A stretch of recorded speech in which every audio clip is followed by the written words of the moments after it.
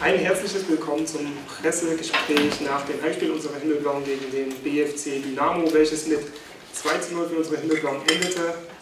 6.233 Zuschauer sahen ein intensives Spiel der beiden Mannschaften. Wir begrüßen die anwesenden Pressevertreter sowie die Gäste in den VIP-Räumlichkeiten. Neben mir sitzen die beiden Cheftrainer René Riedlewitz vom BFC Dynamo und David Bergner von unseren Himmelblauen. Wie immer hat der Gästetrainer das erste Wort. Herr Riedlewitz, bitte. Ja, guten Abend. Ja, ich denke, wir haben äh, eine gute Kulisse gehabt hier. Also es hat Spaß gemacht, war, war sehr schön, war Fußballstimmung. Ähm, wir wollten wenig zulassen. Das, das haben wir in der ersten Halbzeit geschafft, haben selber eine gute Möglichkeit gehabt. Sind dann natürlich durch einen Sonntagsschuss in Rückstand geraten. Das war, war ärgerlich. Aber noch ärgerlicher war, dass das in so einer Fußballatmosphäre, wie sie hier war, dass wirklich dann jede Kleinigkeit für meine Jungs quasi mit Geld bestraft worden ist.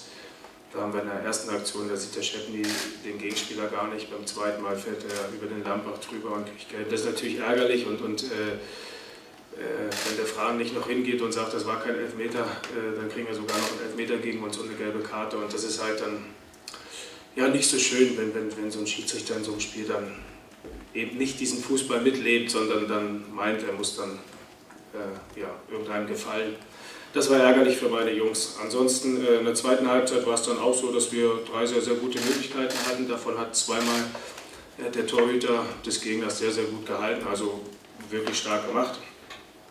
Jetzt äh, bleibt uns nur, dass wir gratulieren können. Äh, allzu viel Zeit zum äh, Nacharbeiten haben wir ja nicht, weil wir auch die einzige Mannschaft sind, die jetzt alle drei Tage spielen muss zur Saisonstart, was genauso ärgerlich ist. Und deswegen nochmal Glückwunsch an den Gegner und wir bereiten uns jetzt auf unser nächstes Spiel vor. Danke. Vielen Dank, Herr Riedlewitz. David, deine Einschätzung bitte zum Spiel. Ja, erstmal hallo, schönen guten Abend. Ähm, ja, ich denke, wir sind sehr, sehr froh, dass wir, dass wir die beiden Heimspiele ähm, in dieser neuen Liga erfolgreich gestalten konnten. Ähm, ja, wir hatten halt eine Idee und ich denke, das hat man in, der ersten, in den ersten Minuten gesehen, dass natürlich ähm, dass noch nicht alles aufgeht in der Spieleröffnung, dass der eine oder andere ähm, Fehlpass da kommt. Das, das, dieses Risiko äh, mussten wir auch eingehen. Ich denke, wie der René schon sagte, das, äh, so ein Tor macht der, der Tobi sicherlich nicht jeden Tag. Wir, wir nehmen es gerne mit. Trotz alledem haben wir, haben wir gewusst, dass der, dass der Gegner bei Ecken zwei vorne lässt und äh, der Raum war frei. Und deswegen haben wir einen Tobi dahingestellt, dass er den natürlich so trifft.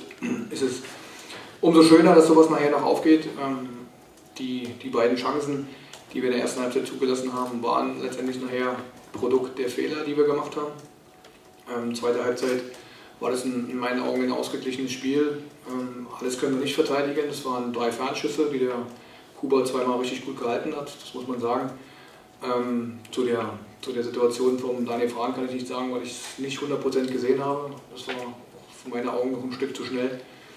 Äh, es ehrt ihn, dass er den, bei der Situation, in der, bei dem Spielstand, diese Situation angesagt hat, dass, es, dass er ihn nicht getroffen hat. Und äh, ja, umso schöner ist natürlich, dass dann der Paul, der eingewechselt wurde, dann nachher den Deckel drauf gemacht hat. Ich denke, war eine tolle Atmosphäre hier in Chemnitz. Es hat von der ersten Minute an sehr, sehr viel Spaß gemacht und dazu hat der Gegner natürlich auch beigetragen, ein ordentliches Fußballspiel hier abzuliefern. Und wir sind die glücklichen Gewinner und der René hat es gesagt, wir, wir haben jetzt auch in, in, drei Tagen wieder das nächste Spiel in, in Babelsberg und müssen erstmal zusehen, dass wir so schnell wie möglich alle wieder an Bord bekommen. Vielen Dank. Vielen Dank, David. Sie haben jetzt die Möglichkeit, Fragen zu stellen. Hierfür bitten wir um ein kurzes Handzeichen. Das ist nicht der Fall. Dann bedanken wir uns ganz herzlich für die Aufmerksamkeit. Dem BFC wünschen wir für die restliche Saison noch ganz viel Erfolg. Und wir sehen uns hier wieder am 25.08. Dann ist der VfB Auerbach zu Gast. Verzeihung. Schönen Abend noch.